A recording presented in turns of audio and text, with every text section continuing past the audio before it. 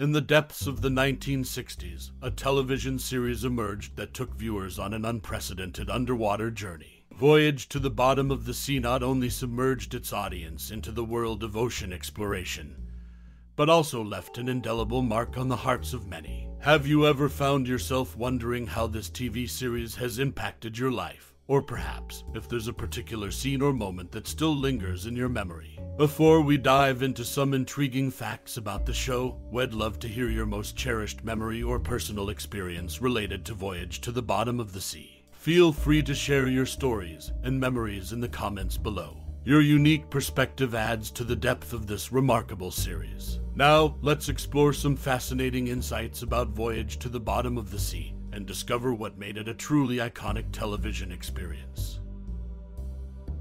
Voyage to the Bottom of the Sea was a popular TV series that originally aired from 1964 to 1968. The show was created by Irwin Allen, known for his work in the science fiction genre. Set in a futuristic, high tech submarine called the Seaview, the series followed the adventures of its crew as they explored the depths of the world's oceans and encountered various underwater threats, including sea monsters, espionage, and extraterrestrial forces. The series featured iconic characters like Admiral Nelson, played by Richard Basehart, and Captain Crane, portrayed by David Hedison. These characters, along with the rest of the diverse crew, brought depth and charisma to the show. Voyage to the Bottom of the Sea was known for its unique blend of science fiction, adventure, and espionage, offering viewers a thrilling and imaginative experience with each episode. The show had a significant impact on popular culture, contributing to the fascination with undersea exploration and the unknown depths of the oceans. Its influence can still be seen in subsequent submarine themed movies and TV series. Voyage to the Bottom of the Sea remains a beloved classic that continues to be celebrated by fans of vintage science fiction television, making it a memorable part of the genre's history.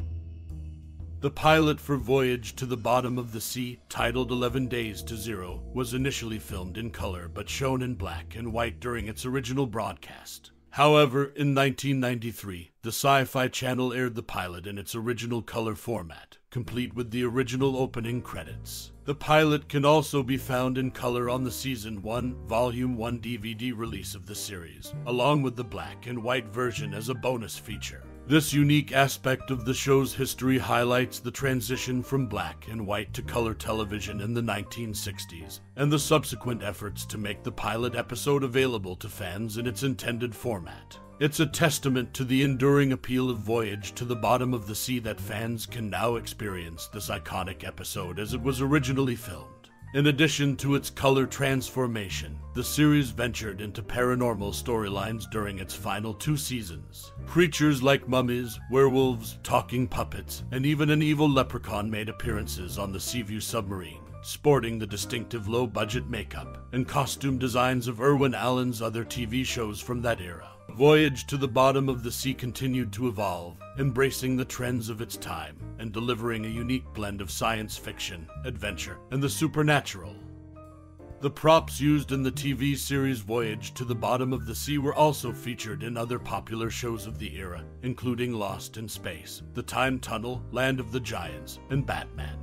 This shared use of props highlights the cost saving practices in television production during the 1960s. It wasn't uncommon for studios to repurpose props and sets to make the most of their resources, leading to a sense of familiarity for viewers of these shows. These reused props added a unique connection between the different series of that time, creating a shared universe of sorts in terms of visual elements.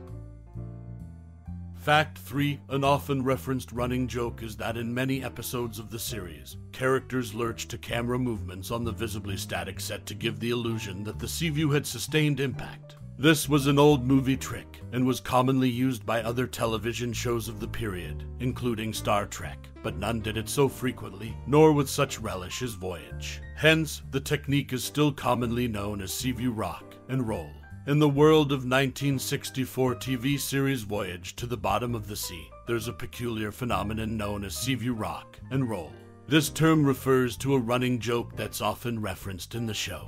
In many episodes, you can spot the characters lurching to camera movements on the visibly static set. This unusual maneuver was designed to create the illusion that the Seaview submarine had sustained some kind of impact. The trick used on the show, known as Seaview Rock and Roll, was unique to Voyage to the Bottom of the Sea. It was an old movie trick and was also used by other TV shows of the period, including the famous Star Trek. However, what set Voyage to the Bottom of the Sea apart was the frequency and enthusiasm with which they employed this technique. So, when you watch the show, keep an eye out for these amusing moments of Seaview Rock and Roll. It's a testament to the creative and sometimes quirky ways in which TV shows of the 1960s brought their stories to life on screen. And that's a unique tidbit from the world of Voyage to the Bottom of the Sea.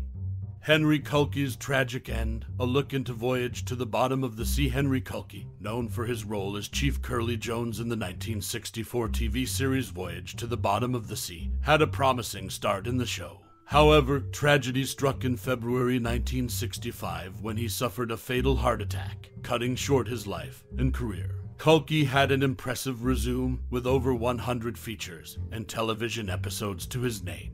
His sudden departure from the series left a void in the cast and had a significant impact on the show. Voyage to the Bottom of the Sea, created by Irwin Allen, was known for its unique blend of science fiction, adventure, and espionage. In its second season, the show faced demands from ABC to adopt a somewhat lighter tone, leading to an increase in Monster of the Week type plots. However, the series still retained some elements from its initial season, including storylines revolving around Cold War themes and excursions into near future speculative fiction. The show's evolution and the challenges it faced in maintaining its tone are a testament to the dynamics of television production in the 1960s. The sudden loss of Henry Kulky, who portrayed Chief Curley Jones, marked a significant moment in the series' history, affecting both the show's narrative and its ensemble cast. While the show continued to explore new territory, the memory of Henry Kulky and his contribution to Voyage to the Bottom of the Sea remains a part of its legacy. His presence in the series and the tragic end to his career are notable aspects of the show's history that continue to be remembered by fans. In summary, Henry Kulky's role in Voyage to the Bottom of the Sea and the subsequent challenges the series faced in adapting to ABC's demands provide insights into the show's history and the impact of unexpected events on its narrative and cast. As we navigate the depths of nostalgia, it's undeniable that the 1964 TV series Voyage to the Bottom of the Sea holds a special place in the hearts of its admirers. This classic show submerged us into the mysterious world beneath the waves, unveiling tales of daring exploration, high tech submarines, and captivating adventures that left a lasting imprint on our imaginations. Now, I invite you to take a moment and reflect on your personal connection with this remarkable series. Was it the charismatic Captain Lee Crane, the cutting edge Seaview submarine, or the thrilling undersea escapades that captured your fascination? Perhaps it was the futuristic technology, the timeless Cold War context, or the memorable characters that made Voyage to the Bottom of the Sea a cherished memory for you. Your thoughts and memories are like treasure troves, waiting to be shared and celebrated. What are your favorite moments? Which episodes left you breathless, teeming with excitement, or even inspired to explore the mysteries of the deep? We'd love to hear from you and relive those cherished memories together. So, whether you choose to dive into the comments or simply take a moment to reminisce about this iconic series, thank you for joining us on this voyage of nostalgia. Your insights and reflections enrich the tapestry of our shared love for Voyage to the Bottom of the Sea. Together, we keep the spirit of this timeless show alive. Thank you for your time and interest. We look forward to reading your thoughts, and remember, this outro was